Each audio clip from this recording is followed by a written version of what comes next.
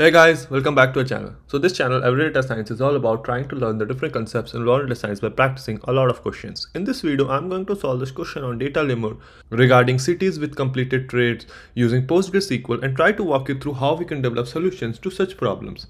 The difficulty level of this question is easy and this question has been asked in Robinhood interviews. Okay, let's jump right in. The question reads, you are given the tables below containing information on Robinhood trades and users Write a query to list the top three cities that have the most completed trade orders in descending order. Output the city and the number of orders. So the trades table has basically six different columns. Order ID, user ID, price, quantity, status, timestamp and status column has completed or cancelled string this is an example of that right? And then there is another table users with four different columns user id city email and sign up date. So basically the completed or cancelled status is in this table trades. But you only have user id information in this.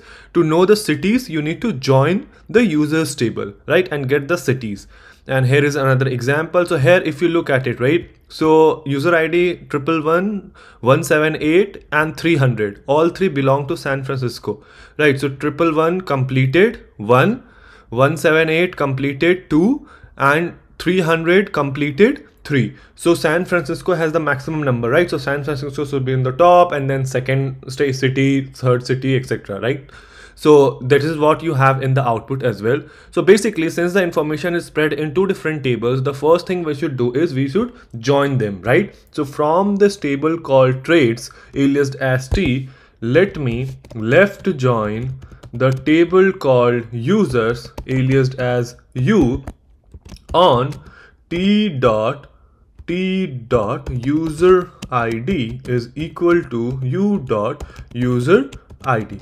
So now once you have this, then we are only concerned about completed trades, right? So we need to make sure that after joining, you need to make sure we are only keeping those rows where status is completed. So we write where status is a column in trades table. So we write t dot status is equal to completed, right? Once you have this, then like after joining you have the different columns from users table right? This user id city as well. And then after doing a where clause we are only keeping those rows where the trade is completed. And now you can group by this that column right? U dot city and return the u dot city and count the number of trades right? So we can do hey group by u dot city return u dot city right? Because you need that in the output as well right? You need city and then the total orders.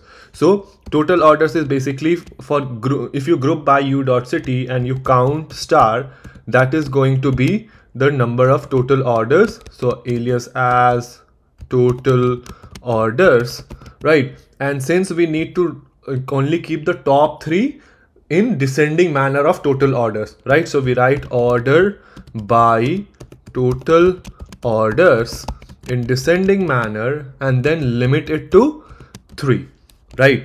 Now here we are using the limit. There is another way to do it.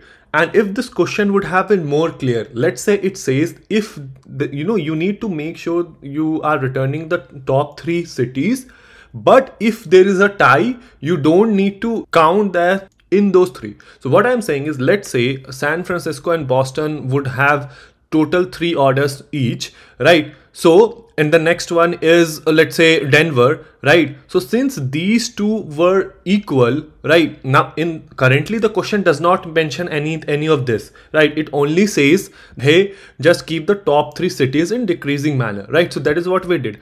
But had it been the case that it would have asked that hey like you return the top three but if there is a tie then you go to the next one as well. So basically the three orders where it was not tied. Something like that right? So in that case you we must be doing the ranking function using that ranking window function and all that. But here since it is not mentioned so we can go by this simple logic. Okay let me go ahead and run this to see what happens. So now you have san francisco boston denver right? Let me go ahead and submit it to see if it passes all the test cases. So yeah this is accepted and this is how we do it. Again not a very difficult question. All we did was firstly we made sure the entire information is available at one place. We joined the two tables only kept those rows where status is completed because that is what we are dealing with. We group by the city uh, returned the city and counted the total number of total orders ordered in descending manner and kept only the top three rows right so this is how I do it. Let me know if there is a better way or a more efficient way you can think of to solve this question. Let the solution be in the comment section below. And I will see you guys in the next video.